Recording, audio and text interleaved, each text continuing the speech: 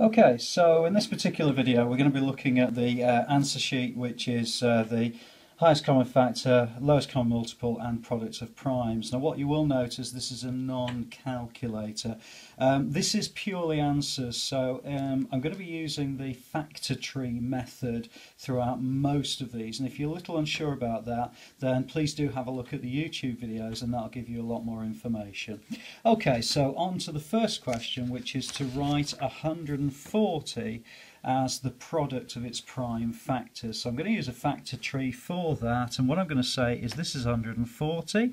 I've got two factors that I can use which is 2 and 70.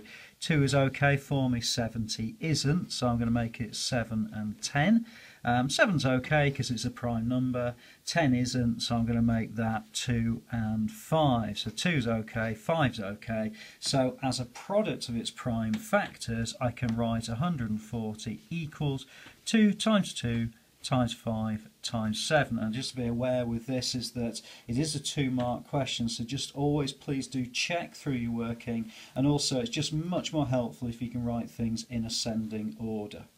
Okay, so the next question is a little bit uh, trickier only because it's 720, so it's quite a big number to deal with. However, the principle is exactly the same. So what we're going to say is 720 well, two numbers that multiply together to make 720 would be 8 and 90, neither of which is a prime number, so I have to go then to the next level.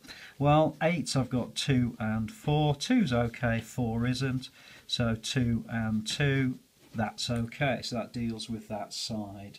With the 90, I've got um, 9 and 10, neither of which are good for me. 9, however, can be 3 and 3 and 10 can be uh, 2 and 5 and that's absolutely fine and then I'd simply uh, write that out. Now just be a little bit careful with this just to make sure that you've got the correct number of numbers. I generally put a dot underneath, it just makes it much easier for me.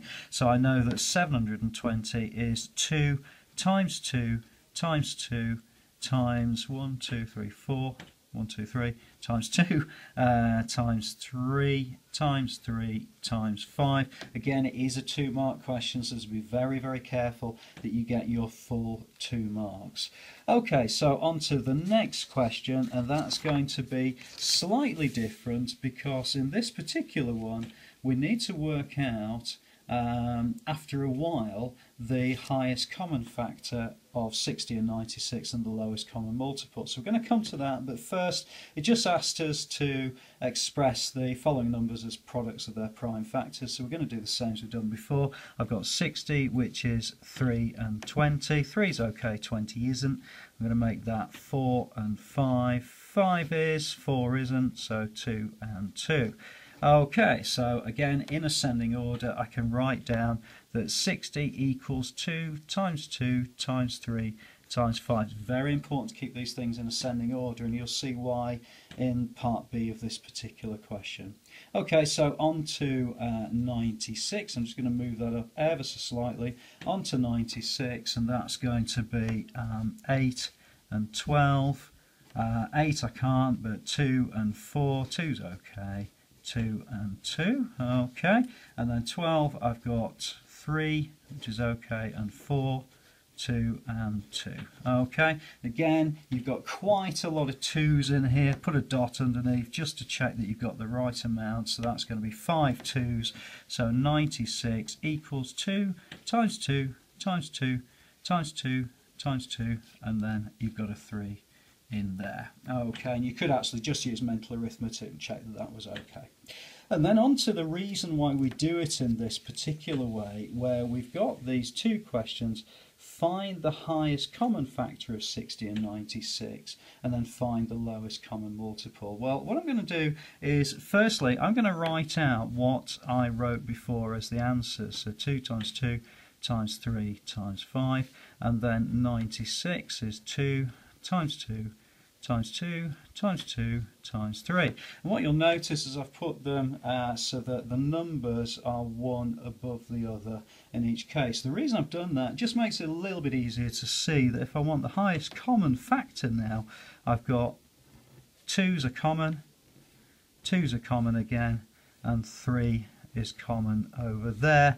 So the highest common factor will be 2 times 2 times 3. So the highest common factor is going to be 12. So the HCF of 60 and 96 equals 12. And that's the method we're going to be using all the way through all of these uh, these answer papers.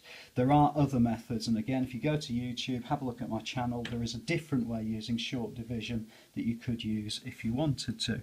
But this particular one makes it kind of easy because the LCM basically is 12 which is the HCF multiplied by whatever's left. So in this case it's 12 times 2 times 2 times 5.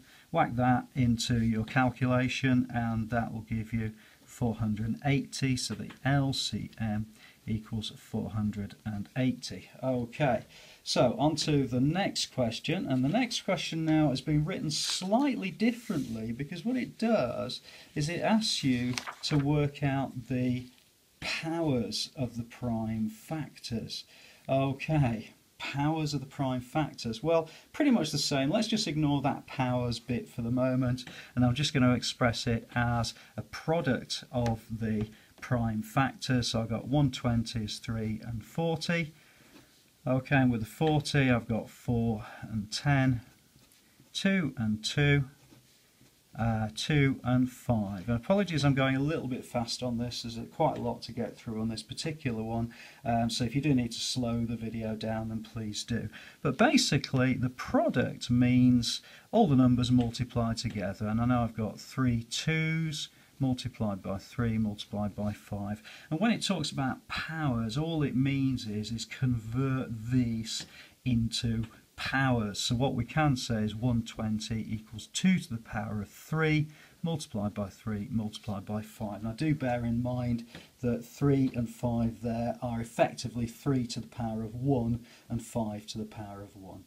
So therefore we need to now find the lowest common multiple of 120 and 150. Well we found uh, the prime factors of 120 so we need to do the same with 150 and with 150 I've got 3 and 50. 3 is okay, 50 isn't, but I do know it's 2 and 25, that's okay, and 5 and 5. Alright, so I'm going to do the same method as before, is that I'm going to write the two together. So I've got 120, which we got from the top, is 2 times 2 times 2 times 3 times 5.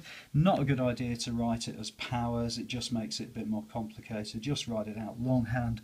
It's much, much easier to do it this way. So 150, then we know from the calculation we've got there, which is 2 times 3 times 5 times 5. So I'm going to look for firstly the HCF, and the HCF is going to be uh, two twos there, a 3 there, and a 5 there. I hope this is coming out okay on the video, but I've got 2 times 3 times 5, so that's going to give me a HCF of 30, and then the LCM is basically 30 multiplied by what's left, which is 2, 2 and 5, so times 2 times 2 times 5, so therefore the LCM if you calculate all of that out, that will give you 600. Okay, so it takes a little bit of time to work through these kind of questions, but they're not too bad once you get into the routine of doing it like this. So uh, question five is very much the same, and again, I'm going to whiz through this as quick as I can.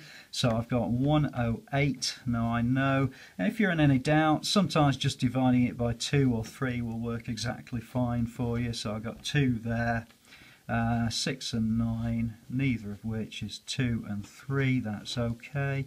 And then I've got 3 and 3, that's fine. So I can write now uh, 108 out longhand is 108 equals 2 times 2 times 3 times 3 times 3. So therefore, to write it out as powers, and do be careful about the kind of wording of these type of questions. You can get a bit mechanic about doing these sorts of questions or mechanical, so just make sure that you check every time what it is they're asking you to do. So 108 and that equals 2 to the power of 2 multiplied by 3 to the power of 3 and that will get you your full two marks. No, three marks on that particular question. Okay, so we're going to work out for the additional mark the HCF of 108 and 24. Well, we've got the factors of uh, 108, so 24 is going to be 2 and 12, and that's going to be 3, 4, and that's going to be 2 and 2. So again, exactly as we've done it before, we're going to say 24 equals 2 times 2 times 2 times 3, and uh, 108 is going to be 2 times 2 times 3 times 3 times 3. Okay, make sure that we've got the common ones, so 2, 2 and 3 in there.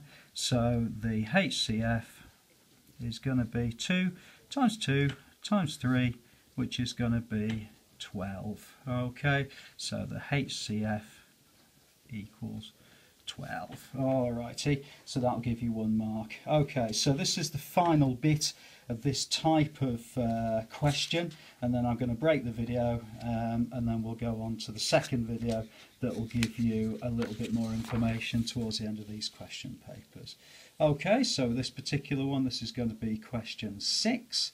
Alrighty, and with question 6, we're going to work out the highest common factor of HCF of 24 and 64. Well, I guess you uh, you know the routine now that we've got to work out 24. I think we did that before, so we've got 2 and 12, we've got 3 and 4, uh, so 2, 3 and 2 of those, okay, and then we've got 64, well that's going to be 8 and 8, so that's going to be 2 and 4, 2 and 2, and then we're going to have the same on this side. So this is where we've got to be a little bit careful because we're going to get a whole load of twos to play with on this particular one. Okay, so let's just do 24 first. So 24 equals uh, 2 times 2 times 2 times 3. And then 64, we've got one, two, three, four, five, six lots of twos.